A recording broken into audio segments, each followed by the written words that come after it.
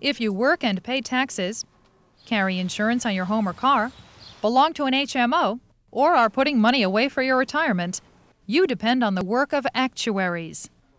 Actuaries make up a rare breed of problem solver for the business world. So unique, there are only 19,000 of them at work in North America.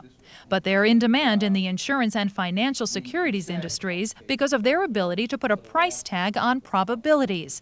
They improve financial decision making by using mathematical models to project future risks. Actuaries enter the field with specialized math knowledge in statistics, calculus, and probability, and sharp analytical, problem solving, and project management skills. They are well versed in finance, accounting, and economics, and they're computer experts.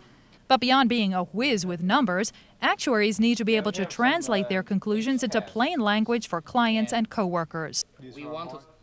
On the job training for actuaries can last more than a decade as they pass a series of eight required exams to become fully accredited. The Society of Actuaries recommends at least 400 hours of study for each exam. Opportunities for actuarial work are diversifying. Multinational firms and government offices increasingly call on actuaries to help evaluate the financial implications of uncertain future events.